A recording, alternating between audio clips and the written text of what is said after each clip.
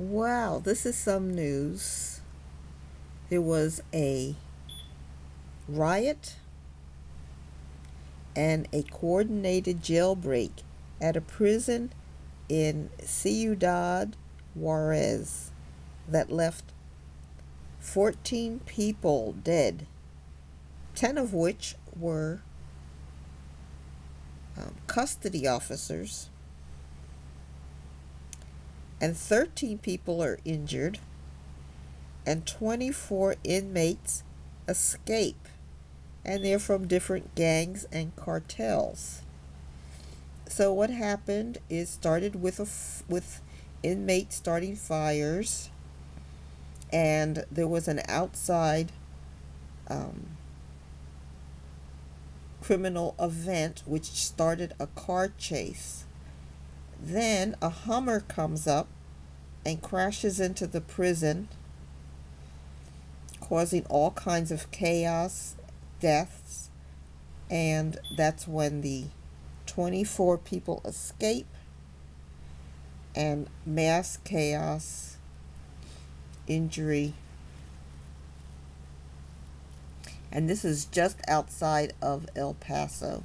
So El Paso's been getting it really hard because they've been getting a lot of the illegal immigrants crossing the border. And now they also have this. Now I'm going to try to transfer to see if I can get some more pictures.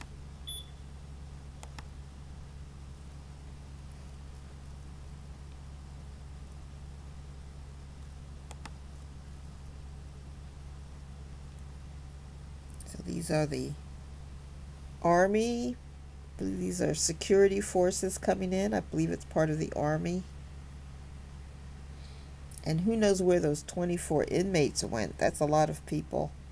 And that can be big, big problems for any place those people go. Because this was coordinated. So they have probably a lot of people waiting to take them to various places throughout the country and in the United States.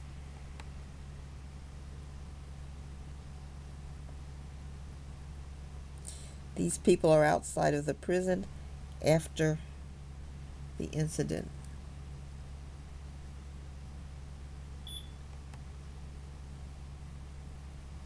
Family members crying.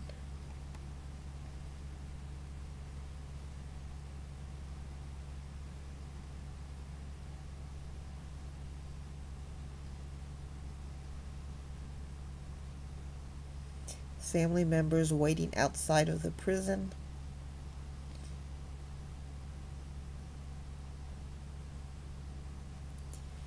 These are people just security forces outside the prison.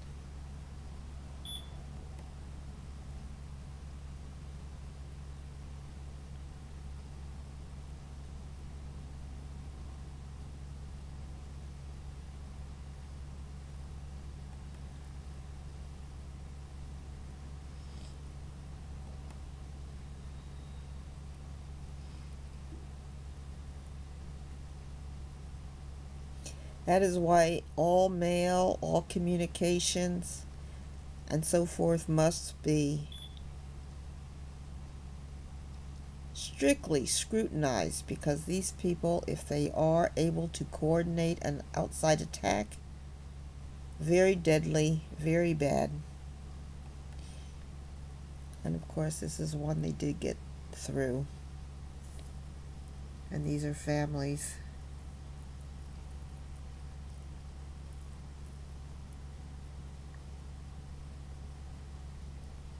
Watching where it took place.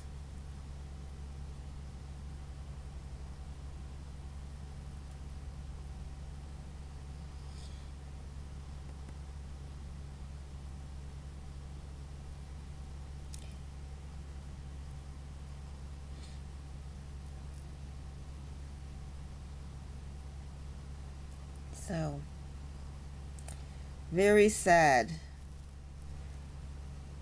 sympathy to all of the correctional personnel that were injured or killed. And uh, I hope they find the 24 that escaped very fast. Like and subscribe. Bye.